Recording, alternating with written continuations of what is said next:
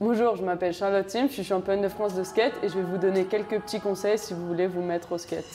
Une fois que vous êtes à l'aise sur votre planche et que vous savez partir en avant et en arrière dans une courbe, une des premières figures que vous pouvez faire, c'est le rock to fakie.